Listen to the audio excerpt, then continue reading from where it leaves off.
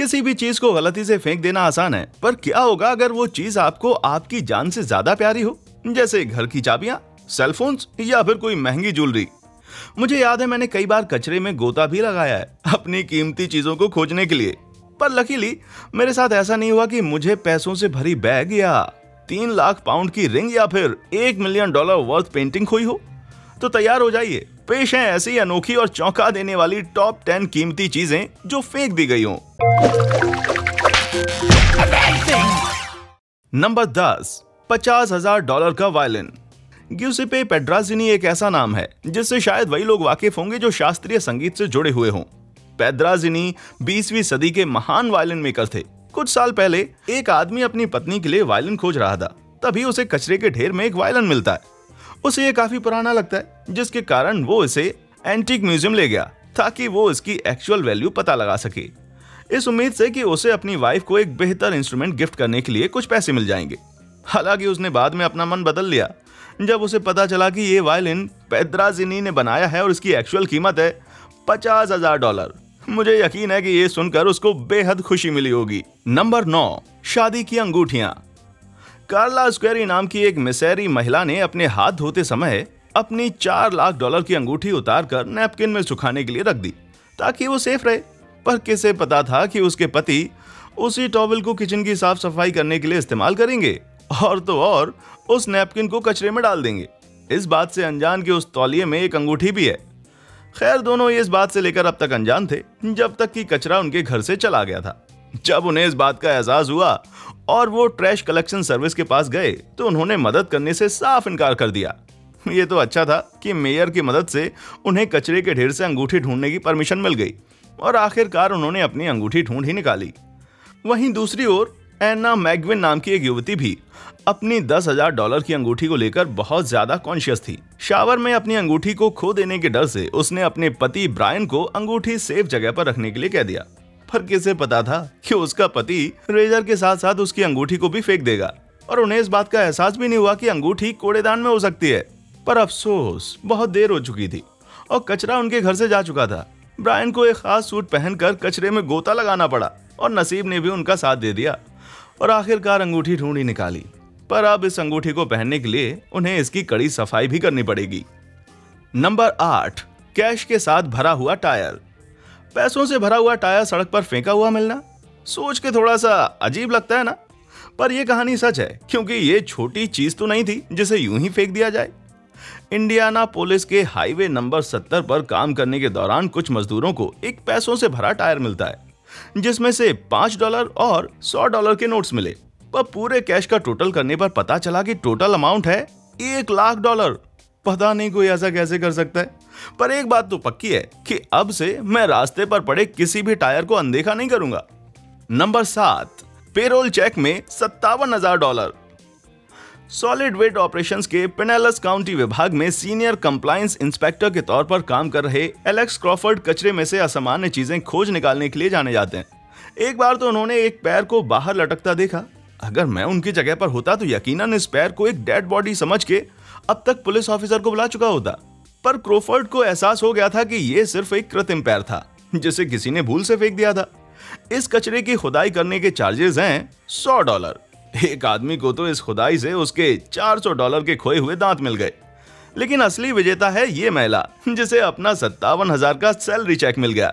Well well, सही मायनों में उसके लिए एम्प्लॉयज़ विजेता थे। नंबर छह पैंतीस साल पुराना baseball card collection Jason Sota Manhattan में रहा करते थे। माँ सुजैन ने उनके कमरे की साफ़ सफ़ाई करने की सोची। जेसन ने जब ये डिसाइड किया कि वो मदर्स डे पर घर वापस आएगा, तब उसकी माँ ने उसका पूरा कमरा साफ़ करवा डाला ये सोचते हुए कि वो पुरानी चीज़ों को चैरिटी में दे देंगी। इसके लिए उन्होंने A M V E T S नामक लोकल चैरिटी वाले को भी बुलाया। पर मदर्स डे पर जेसन को यह रियलाइज़ हुआ कि उसकी मॉम ने उसके बचपन के बेसबॉल कार्ड के कलेक्शंस की बैग को फेंक दिया है। इस कलेक्शन में उन्नीस सौ अट्ठावन के रॉजर मैरिस के रूकी कार्ड्स भी थे, जिसे अगर ईबे पर बेचा जाए तो तीन हज़ार डॉलर तक कमाया जा सकता था। खैर, और भी कई कार्ड्स थे जो कि इतने ही वैल्यूएबल थे। और अगर इनका टोटल किया जाए तो इसकी कीमत तकरीबन पाँच से दस हज़ार डॉलर होगी। सच में, इस माँ को अलमारी की सफ़ाई महँगी पड़ गई, जब उन्हें चैरिटी से पता चला कि कार्ड्स को यकीनन आगे बेच दिया गया होगा। नंबर पाँच, दो लाख डॉलर का Apple computer Silicon Valley, Apple सहित कई बड़ी टेक कंपनियों का घर है। और यहाँ क्लीन बे एरिया नामक एक रिसाइकलिंग फर्म भी है। एक बार एक महिला पुराने इलेक्ट्रॉनिक से भरे कई बक्से लेकर आई। उनका कहना था कि उसे ये बक्से उसके अपने गुजरे हुए पति के गार्बेज से मिले यहाँ तक कि उसने अपना नाम बताने से भी साफ़ इनकार कर दिया। बहुत दिनों बाद जब एम्प्लॉयज़ इन बक्सों की सफ़ाई कर रहे थे तो उन्हें एप्पल एक मिला जो कि खुद में बहुत यूनिक था। और इसके सिर्फ़ 200 पीस ही बनाए गए थे। क्योंकि ये उनके फाउंडर्स स्टीव जॉब्स वोजनियक और रॉन वेन के द्वारा पर्सनली अपने हाथों से असेंबल किए गए थे। जब इसकी तसल्ली हुई, क्लीन बे एरिया ने इस कीमती चीज़ को दो लाख डॉलर में बेच दिया, जो कि अच्छी डील थी। उनका यह भी कहना था कि अगर कभी इस चीज़ को डोनेट करने वाली सामने आए तो उसे आधा हिस्सा दे देंगे, क्योंकि वे अक्सर कीमती चीज़ों के डोनर्स के साथ ऐसा ही करते हैं। नंबर चार, मिलियन डॉलर की लोटो टिकट। मैसाचुसेट्स के केविन डोनोवन नाम के एक व्यक्ति को स्केच ऑफ़ लॉटरी टिकट खरीदने और हारने की आदत थी। एक दिन इस आदमी ने भूल से उस टिकट को फेंक दिया, जिससे उसे वाकई में जीत मिली थी। तो दूसरी तरफ़ तेरासी वर्षीय एडवर्ड सेंट जोन थे, जिनको फेंकी हुई लॉटरी टिकट्स को कलेक्ट करने का शौक था। सबके अपने अपने शौक होते हैं ना? उनके इस शौक ने तो उन्हें मिलियन डॉलर की लॉटरी जितवा दी। डोनोवान जिन्होंने ये टिकट खरीदी थी, उनका कहना था कि ये टिकट उनकी है, मगर लोटो कमीशन ने उनकी डिमांड को खारिज कर दिया। ये कहते हुए कि लॉटरी जिसके पास है, वही असली विजेता है। डोनोवान तो कुछ समय बाद चल बसे, पर उनके बच्चों ने सेंट जॉन का पीछा नहीं छोड़ा, पर आखिरकार इस कार्यवाही से बचने के लिए वो सेटलमेंट के लिए तैयार हो गए। ऐसी ही एक सिचुएशन सामने आई, जब लिटिल रॉक अर्कसांस में एक कचरा उठाने वाले मिलियन डॉलर की लॉटरी जीतने पर मुकदमा किया गया था। और इस बार सिर्फ़ जीतने वाले पर नहीं, स्टोर के मालिक ने भी मुकदमा दर्ज किया था। ये कहते हुए कि उस दिन कचरा कलेक्ट ही नहीं करवाया गया था। खैर, इस किस्से में तो वकीलों ने ही पैसा बनाया। नंबर तीन, पाँच मिलियन के डायमंड्स। डायमंड्स इतने शाइनी और चमकीले होते हैं कि किसी को भी अंधा कर सकते हैं। कुछ ऐसा ही हुआ इन ज्वेलरी स्टोर एम्प्लॉयज़ के साथ, जिन्होंने पाँच मिलियन की कीमत का डायमंड कचरे में फेंक दिया। खैर, एक सिक्योरिटी गार्ड ने इस हीरे को खोज निकाला। पर वो इतना होशियार न था। उसने इंतज़ार किया कि जैसे ही सब इस हीरे के बारे में भूल जाएँगे तो वो उसे बेच देगा। पर काले बाज़ार में बेचते ही बेचारा पकड़ा गया। नंबर दो, मिलियन डॉलर पेंटिंग। कभी कभी कूड़े कचरे में चीज़ें ढूँढने से ईमानदार लोगों को भी फ़ायदा होता है। एलिजाबेथ गिब्सन नामक एक न्यूयॉर्कर ने 38 इंच बाय इक्यावन इंच की पेंटिंग को फुटपाथ पर अन्य कचरे के साथ पड़ा हुआ देखा। उसे अपने घर ले जाने का उसने फैसला किया।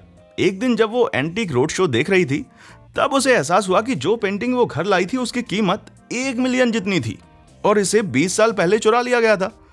क्योंकि इस पेंटिंग पर पंद्रह हज़ार डॉलर का इनाम था, उसने ये पेंटिंग लौटाने का फैसला किया। खैर, पुलिस कभी असली चोर को पकड़ नहीं पाई। और बिल्डिंग मैनेजर का कहना था कि ये कचरा 20 मिनट बाद ही कलेक्ट कर लिया गया था। मूल्यवान कला की बात करें तो एक इतालवी गैलरी में एक सफ़ाई कर्मी ने पॉल ब्रैंका द्वारा बनाई गई पंद्रह हज़ार डॉलर की कीमत के स्कल्पचर को फेंक दिया। सच कहूँ तो ये स्कल्पचर का शेप दो डस्टबिन जैसा ही था।